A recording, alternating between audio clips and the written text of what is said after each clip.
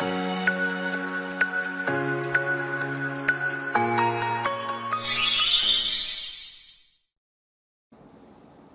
い、こんにちは、レトスノーです。今回なんですけども、委任の報酬、委任契約の報酬について解説いたします。民法648条と648条2の内容です。で、まず、委任契約を締結して、まあ、委任者は受任者に対して仕事、何かしら事務処理を依頼するわけですよね。で、この場合、報酬ってどうなるのかというと、報酬っていうのは特約がなければ請求できないんですよ。つまり、えー、何も特約がないってなると、無報酬の委任契約になるという話なんですね。特約をすることによって、報酬を支払いますよっていう、えー、契約の内容があって、初めて報酬請求ができます。受任者は委任者に対して報酬請求ができると、まあ、いった内容です。で、えー、この報酬請求の話で言うと、履行割合型と、えー、成果完成型っていう2つの型があるんですね。で、これどういった違いがあるかというと、履行割合型っていうのは、労務に対して報酬を支払いますよっていう内容なんです。一方で、成果完成型、まあ、成果報酬型とも言われるんですけども、これは成果に対して報酬を与えますよっていう話なんです。で、労務に対する報酬、履行割合型については、結果が出なかったとしても、事務処理をしてくれたら、つまり、まあ、働いてくれたらっていったイメージですね。働いてくれたら、それに応じて報酬を払いますよっていう話です。一方で、成果完成型っていうのは、成果に対して報酬を払うわけなので、成果がなければ報酬を払わないと、まあ、いった話なんですね。例えばこれって、えー、宅建の勉強してる方はイメージしやすいんですけども、えー、媒介契約っていうのがあるんですね。えー、例えば、私がアパートを借りたいと思って、アパマンショップに行って、私が住む建物探してくださいっていう風に、アパマンショップの担当者に対して、まあ、頼んだ。まあ、通常、媒介契約を結ぶって言うんですけれども、媒介契約を結んで、えー、頼みましたと。でそうすると、アパマンショップの、えー、担当者さんは、いい物件をこう調べるわけですよね。で、こういった物件ありますよ、ああいった物件ありますよって、えー、提供してくれます。で、その中から、あ、いいなと思った物件があって、賃貸借契約を締結したら、これが成果が完成なんですよ。で、この時初めてアパマンショップさんは私に対して、えー、媒介契約の報酬、まあ、つまり仲介手数料ってやつですね。仲介手数料を請求することができるんです。で一方で、もし私がいい物件見つからなくて、賃貸借契約結ばなかった場合、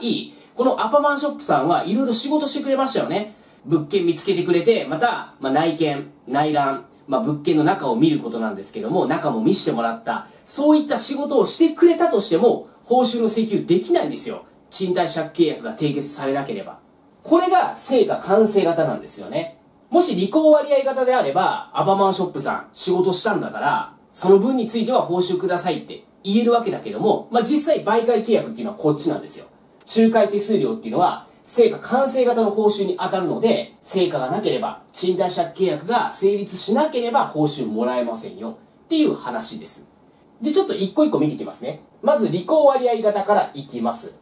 支払い時期、報酬の支払い時期っていうのは原則後払いです。つまり仕事を依頼された側っていうのは委任事務の履行が終わった後でなければ報酬の請求ってできないんですね。事務処理が終わって初めて報酬くださいって言えますよっていう話です。ただし例外があって期間によって報酬を定めたこの期間だけ事務処理してくださいねっていう話であればその期間が過ぎたら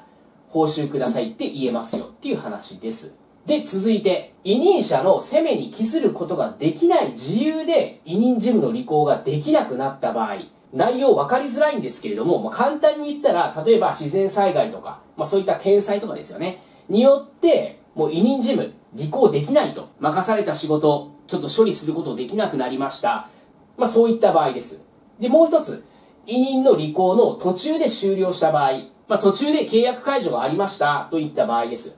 そういった場合っていうのは、すでに履行した割合に応じて報酬を請求できますよっていう話です。例えば、1から10まで、え事務処理してくださいと言われて、1から5まで事務を行ったというのであれば、この場合10のうち5だけ事務処理しているわけなんで、すでに履行した割合っていうのは、まあ、半分ですよね。だから半分だけ報酬を請求できますよっていう話です。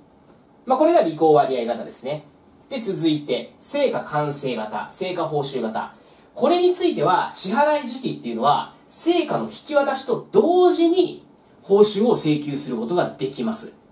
これは引き渡しがある場合ですね。例えば、ホームページの、え作成を依頼されたと。で、ホームページを作成しました。で、ホームページの引き渡しをすることによって、報酬をくださいって請求できますよっていう話ですね。で、引き渡しがない場合もあります。その場合は、え事務の履行が終わった後、報酬を請求することができます。つまり、まあ、原則、この後払いと一緒ですね。で、続いて、1番、2番の場合、ここですね、1番、2番の場合なんですけども、すでにした処理の結果のうち、過分な部分の給付によって、委任者が利益を受けるとき、この場合、その部分を得られた成果とみなす。これどういうことかというと、例えばホームページを10ページ作ってくださいっていうふうに言われましたと。で、えー、5ページ分作りました。で、もしその5ページ分で委任者が利益を受けるというのであれば、その5ページ分を得られた成果とみなします。つまり10ページのうち5ページ完成させたのだから、その部分については委任者が受ける利益として報酬請求できますよっていう話です。だから10ページ分の5ページなのであれば半分請求できるってことですね。なのでまあ考え方としてはこっちと一緒ですね。